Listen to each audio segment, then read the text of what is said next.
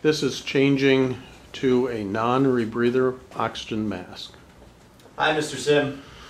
Jim from Respiratory again. We've had you on this mask with a little bit more oxygen for a little while, and your oxygen level still isn't quite what we want it to be. We're going to increase you to what's called a non-rebreather mask so we can get you the most oxygen that we can through a mask. Just give me a couple seconds while I get that together, and I'll show you what it looks like before we get you on.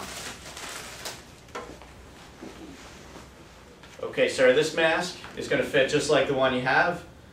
It has a couple little flaps on there so that you're not rebreathing the air that you're breathing out. You're getting a whole deep breath full of oxygen out of this bag, okay? So we're going to try and get you as much oxygen as we can while wearing a mask.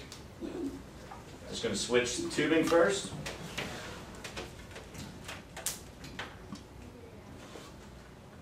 And we'll switch your mask.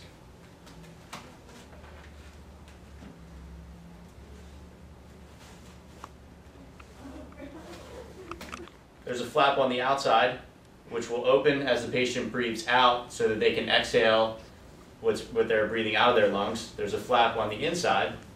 As they breathe in, that flap will open so that they can breathe in the oxygen out of the bag.